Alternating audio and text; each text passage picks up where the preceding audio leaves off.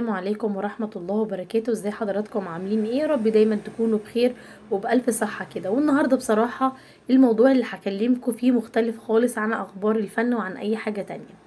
في حاجة جميلة جدا أنا حبيت أهديها لكل المشتركين في القناة عندي أو اللي بيسمعوني وياريت يشتركوا في القناة عشان هيلاقوا أكيد كل جديد إن شاء الله. طبعا من الأخبار. بس النهارده أنا مش بقول خبر ومش بقول حاجة أنا هقول حاجة مه- مهمة جدا تانية أهم من أي خبر أو أهم من أي حاجة. وهي حاجة هدية مني ليكوا ولأي حد يسمعني سواء من مشتركين أو مش من مشتركين ويا ريت نعمل لايك وكمان يشترك في القناة. وصدقوني هي هدية فعلا هتفيدكوا جدا جدا جدا. حاجة كده مهمة جدا جدا ودعاء مهم جدا جدا جدا ودعاء مستجاب. يمكن في ناس ما تعرفوش ويمكن في ناس تعرفه وأكيد في ناس كتير ما تعرفوش. يعني أنا برضو واحدة من الناس ما كنتش أعرف الدعاء ده وبعدين عرفته وب- وبقوله لأي حد أعرفه هو دعاء جميل جدا جدا جدا. حاجة اسمها دعاء التعار. إيه هو دعاء التعار ده؟ الدعاء ده لو أنا أما أبقى نايمة ومتوضية بالليل وراح أنام عادي ونمت وبعدين ساعات كلنا بنقلق في النوم. فبنصحى وممكن ننام تاني. فيا ريت بقى يا ريت يا ريت يا ريت لو انت عندك دعوة حاجة انت عايزها آه، حاجة تعبك في حياتك عندك طلب يعني عايز تطلبه من ربنا سبحانه وتعالى. ما إحنا هنطلب من مين غير من ربنا سبحانه وتعالى؟ إحنا مش هنطلب من حد غير من ربنا. طيب فانت عايز الدعاء ده يستجاب. طب تعمل إيه؟ تدعي إزاي؟ أو إيه الحاجة اللي هي ممكن اسمها دعاء التعار. إيه هو دعاء التعار؟ هو دعاء زي ما قلت لحضراتكم لما بتقلق في النوم بالليل انت بتدعيه. بتدعيه وأنا طبعا هوريه لحضراتكم دلوقتي. الدعاء بيقول إيه؟ ده دعاء مش دعاء يعني كده أو إحنا مؤلفينه أو هو متألف أو ناس اللي قايلاه لأ. ده حديث عن الرسول عليه أفضل الصلاة والسلام وحديث صحيح كمان. بيقول لا إله إلا الله وحده لا شريك له.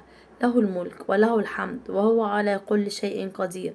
الحمد لله وسبحان الله والله أكبر ولا إله إلا الله ولا حول ولا قوة إلا بالله. كده لما تعوز تدعي بأي حاجة أي حاجة ربنا أنت عايزها من ربنا أي حاجة نفسك فيها أي حاجة كلنا بنطلب من ربنا وكلنا نفسنا في حاجات فأي حاجة أنت هتدعي بيها ونفسك فيها اعرف إن ربنا هيستجاب ليك فورا فورا. وإن أنت لو صليت ركعتين ربنا هيقبلهم. برضو فورا. طب منين انت جايبة الثقة أو التأكد ده؟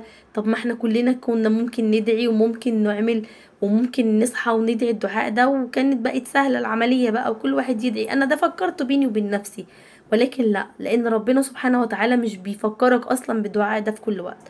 ولا بيجريه على لسانك في كل وقت. ربنا سبحانه وتعالى لما بيجري الدعاء ده على لسانك أو ربنا لما يخليك بتدعي بيه ربنا هيكون عايز يستجيب لك. أحيانا كتير هتقوم من النوم وأنت عارف الدعاء ده ومش هتفتكره ومش هتفكر فيه. وأحيانا تانية هتدعي بيه عشان ربنا عايز يستجيب لك. فأكيد خلك خلينا خلينا كلنا وأي حد بيسمعني عنده ثقة ويقين.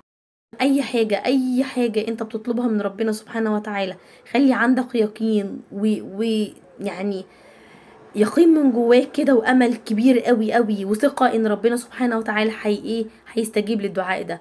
وصدقوني إن الدعاء ده كنز. والله العظيم الدعاء ده كنز. كنز من الكنوز. آه، مش مش ناس كتير عارفاه أو مش ناس كتير فاكراه. واللي عارفه مش فاكره لكن ده حديث صحيح عن الرسول عليه أفضل الصلاة والسلام. اللهم صل على سيدنا محمد. صدقوني ادعوا بيه إن شاء الله إن شاء الله. أي حاجة دعوتك هتستجاب وفي حاجة كمان. اللي هيقول كل يوم الصبح وبالليل اللهم رضيت بالله ربا وبالإسلام دينا وبسيدنا محمد نبيا ورسولا كان حقا على الله أن يرضيك في هذا اليوم. عارف يعني إيه حقا على الله أن يرضيك في هذا اليوم؟ لما تقولها الصبح ثلاث مرات وبالليل ثلاث مرات حق على ربنا إنه يرضيك. ربنا يرضينا كلنا يا رب اللهم آمين. حق على ربنا إنه يرضيك.